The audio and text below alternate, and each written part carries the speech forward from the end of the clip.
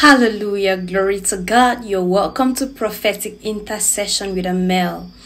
If this is the first time you're seeing me, the first time you're coming across my channel, God bless you and thank you so much for stopping by. I pray that God is going to use this channel to minister to you prophetically. He will use this channel to reveal his mind to you, to know to help you know him better and to help you better your relationship with God. Hallelujah. If this is the first time you're seeing me or the first time you're coming across my channel, God bless you. Thank you so much for stopping by. Um, please, if you're yet to subscribe, kindly subscribe and turn on the notification bell so that whenever we are live, you're not going to miss out. Or when God gives us a prophetic message for you, you will not miss out. You never know when God will be ministering to you one on one. Hallelujah. The Lord laid His word in my heart. It has been ringing like a bell since I got it, and I had to just let it out today. God says they will meet you there. They are going to meet you in that place. You know, it doesn't matter how how much the devil fights. It doesn't matter the struggle he puts to abort your destiny. It doesn't matter how much of a fight he puts up to to abort your destiny or to make you lose control or to make you get out of the plan of God for your life. It doesn't matter how much they fight. At the end of the day, you are still going to arrive at that destination where God wants you to be. Yes, they can succeed in delaying you. Your destiny can be delayed. But I am here to tell you it will not be denied.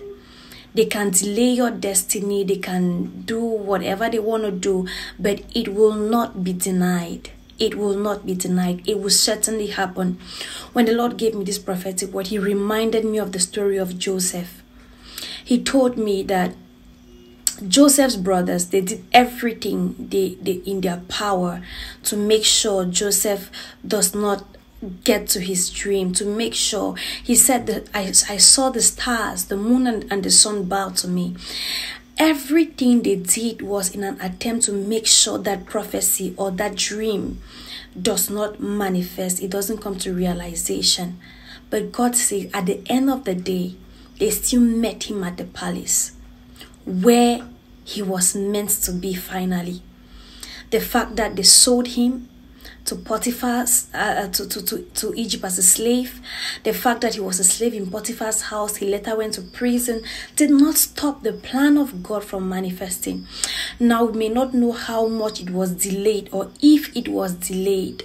But what God told me when he gave me this prophetic word is eventually Joseph's brothers they met him there at the place of his promise they met him there at the place of his dream.